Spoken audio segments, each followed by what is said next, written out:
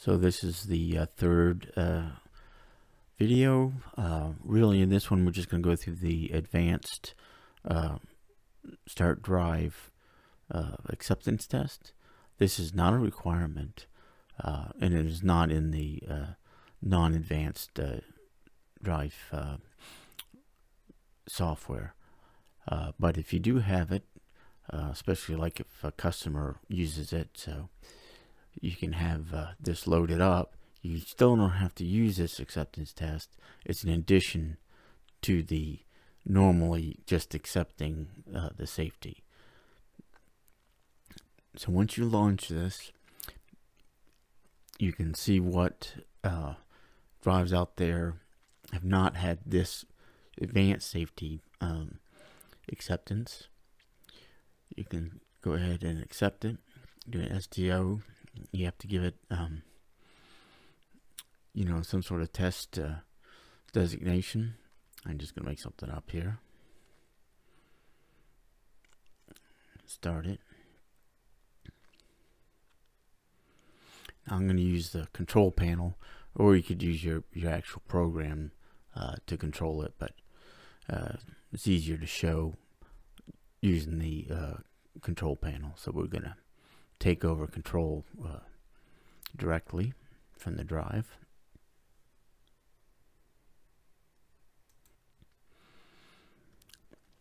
So I activate the master control.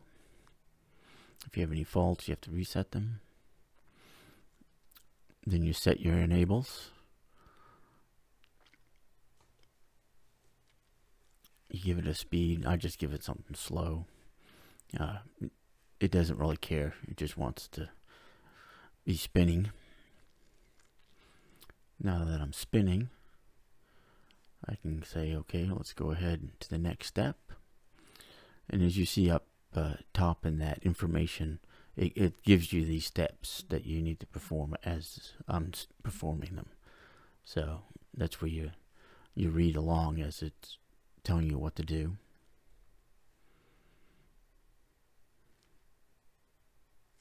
Now V stopped it while it was running, which is what they want to see. Uh, and it's asking you to, to, look and confirm, make sure that it did that.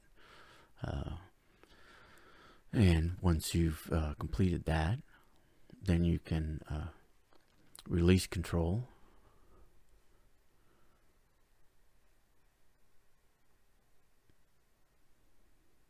Oh, sorry, deselect, yeah. There we go. So it's seen a cycle of the e-stop. Now I can deselect it and return control to the PLC. And now I've completed all the steps. I can finish it. Uh, and then you can uh, download the uh, the report. Uh, and you know you're supposed to sign the report, and then that makes you liable for uh, the fact that you did this safety.